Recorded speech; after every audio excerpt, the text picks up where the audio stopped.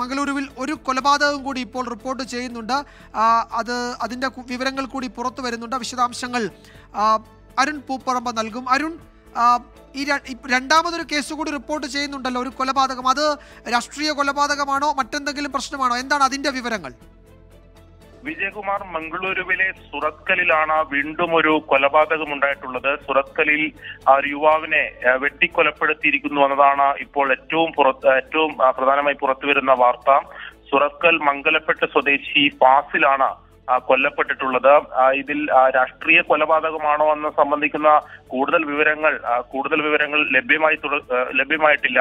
എന്തായാലും പ്രാഥമികമായിട്ട് ലഭ്യമാകുന്ന വിവരം അനുസരിച്ച് അഞ്ചംഗ സംഘമാണ് ഈ കൊലപാതകം നടത്തിയിട്ടുള്ളത് എന്നതാണ് ഇപ്പോൾ നമുക്ക് ലഭ്യമാകുന്ന വിവരം. സുറത്തലിൽ ഒരു ടെക്സ്റ്റൈൽ ഷോപ്പിന് മുമ്പിൽ വെച്ചാണ് ഇത്തരത്തിലൊരു നിഷ്ഠൂരമായ നടന്നിട്ടുള്ളത്. ആ മംഗളൂരുവിൽ തന്നെയാണ് വീണ്ടും ഒരു കൊല മംഗളൂരു മേഖലയിൽ തന്നെയാണ് വീണ്ടും ഒരു കൊലപാതകം നടക്കുന്നത് എന്നത് തീർച്ചയായും ആശങ്കപ്പെടുത്തുന്ന സാഹചര്യം അവിടെ ഉണ്ട് എന്നത് തന്നെയാണ് വെളിപ്പെടുത്തുന്നത്. പ്രധാനമായും കഴിഞ്ഞ ദിവസമാണ് ഒരു യുവമോർച്ച നേതാവിന്റെ കൊലപാതകം ബന്ധപ്പെട്ട വലിയ സംഘർഷങ്ങൾ ഈ ദക്ഷിണ കന്നഡ മേഖലയിലും മംഗളൂരുവിൽ ഉൾപ്പെടെ ഉണ്ടായിട്ടുണ്ട്. അതിന് തുടർച്ചയെന്നോണം ആണോ ഇത്തരത്തിലൊരു കൊലപാതകം ഉണ്ടായിട്ടുള്ളത് എന്ന കാര്യത്തിലൊക്കെ വ്യക്തത വരേണ്ടതുണ്ട്. അതിന് അതുമായി ബന്ധപ്പെട്ട പരിശോധനകൾ പരിശോധനകൾ പോലീസ് നടത്തിവരുന്നുണ്ട്.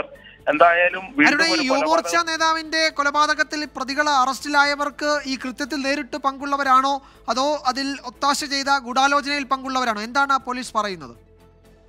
വിജയകുമാർ നിലവിൽ ഇപ്പോൾ യുവമോർച്ച നേതാവിന്റെ കൊലപാതകം ബന്ധപ്പെട്ട് രണ്ടുപേരാണ് അറസ്റ്റിലായിട്ടുള്ളത്. ഈ രണ്ടു പേരും കൃത്യത്തിൽ നേരിട്ട് പങ്കെടുത്തവരല്ല എന്ന് തന്നെയാണ് പോലീസ് വ്യക്തമാക്കുന്നത്. ഇവർ ഈ പ്രദേശത്ത് അതായത് ഈ ബെല്ലാര എന്ന പ്രദേശത്ത് ഈ കൊലപാതകത്തിന് വേണ്ടി ചില സഹായങ്ങൾ വിവരങ്ങൾ കൈമാറിയിട്ടുള്ളവരാണ് എന്നതാണ് പോലീസ് നൽകുന്ന വിവരം. അതായത് ഇവർ സുള്ളിയ സ്വദേശികളാണ്. ഈ കൃത്യത്തിൽ നേരിട്ട് പങ്കെടുത്തവർക്ക് അത്തരത്തിലുള്ള വിവരങ്ങൾ കൈമാറിയിട്ടുള്ളവരാണ് ഈ രണ്ടുപേരും എന്നതാണ് പോലീസ് നൽകുന്ന വിവരം എന്തായാലും അതിലെ അന്വേഷണം ഊർജിതമായിട്ട് തന്നെ പുരോഗമിക്കുകയാണ്. കൃത്യത്തിൽ നേരിട്ട് പങ്കെടുത്തവർ മലയാളികളാണെന്നുള്ള നിഗമനത്തിൽ പോലീസ് നേരത്തെ എത്തിയിരുന്നു. അതിനെ സാധൂകരിക്കുന്നതാണ് സി സി ടി വിയിൽ നിന്നും ലഭ്യമായിട്ടുള്ള ഈ ബൈക്കിന്റെ ദൃശ്യം എന്നതാണ് പോലീസ് ആ- രീതിയിൽ സ്ഥിരീകരിക്കുന്നത്. കാരണം ബൈക്കിന്റെ ബൈക്കിൽ കേരള രജിസ്ട്രേഷൻ നമ്പറിലുള്ള ബൈക്കിലാണ് ഈ കൊലപാതക സംഘം അവിടെ എത്തിയത് എന്നത് സി സി ടി വി ദൃശ്യങ്ങളുടെ കൂടി അടിസ്ഥാനത്തിൽ പോലീസ് സ്ഥിരീകരിക്കുന്നുണ്ട്. അതുകൊണ്ട് തന്നെ മലയാളികളാണ് ഈ കൃത്യത്തിൽ പങ്കെടുത്ത് കൃത്യം നേരിട്ട് പങ്കെടുത്തത് എന്നുള്ള നിഗമനത്തിലേക്കാണ് എന്തായാലും പോലീസ് എത്തുന്നത്.